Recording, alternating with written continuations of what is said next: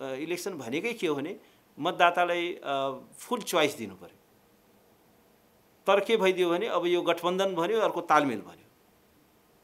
अनि भनेपछि मतदाताले आफूले साँच्चीकै भन्यो भने आफूले चाहेको उम्मेदवारलाई भोट हाल्ने अवस्था छैन चाहेको पार्टीले भोट हाल्ने अवस्था छैन त्यो सोचिँदै छैन कतिपय निर्वाचन क्षेत्रमा।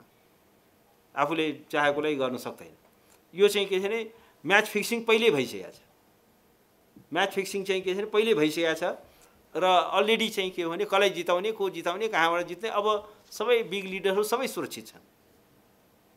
अब उनीहरूलाई चाहिँ जनताले जतिसुकै नो नट अगेन भने पनि अब एउटा चाहिँ भन्दाखेरि त्यो हामीले पनि फ्रिडम अफ स्पिचको इस्यु हो तर त्यो धेरै त्यो होला जस्तो यथार्थमा त्यो रूपान्तरित होला जस्तो छैन। किनभने म्याच चाहिँ पहिले फिक्स भइसकेको छ।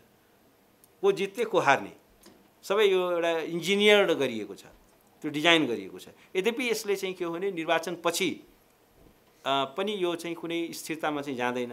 यसले गम्भीर अस्थिरताको दौर चाहिँ सुरु गर्नेछ। Election commission has no business election कमिसनको यो बिजनेस होइन कि एउटा एउटा उम्मेदवारको बचाउमा चाहिँ इलेक्सन कमिसन दौडेर आउने। ठिक छ नो नट अगेन भनियो। कुनै नेताले साँच्चीकै बोलायो कि मेरो त चरित्र हत्या भयो मलाई चाहिँ उ गर्यो भन्दाखेरि डिफेम गर्यो। डिफेमेसनको सुट लिएर मुद्दा हाल हाल्न सक्छ। तर निर्वाचन आयोग has election commission has no business त्यस कारण के छ निर्वाचन आयोगले चाहिँ के हो भने आफ्नो जुन उसको जुरिडिक्सन हो त्यसले के हो भने इलेक्सन कमिसनको चाहिँ विश्वसनीयतामा चाहिँ चाहिँ के छ भने प्रश्न चिन्ह लागेको छ।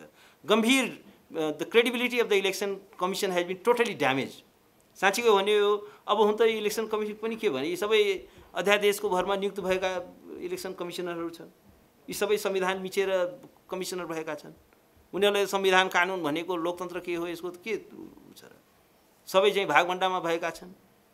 र एउटा चाहिँ के छ भने इलेक्सन कमिसनको जुन एउटा इन्डिपेन्डेन्स छ त्यो चाहिँ गर्न सकेको छैन र इलेक्सन कमिसन जस्तो भनौँ न हास्यास्पद। जस्तो सबै उम्मेदवारसँग स्पष्टीकरण मागि मागिराखेको छ धेरै ठुलो सङ्ख्या तर आफ्टर त्यो स्पष्टीकरणको लजिकल कन्क्लुजन के हो त?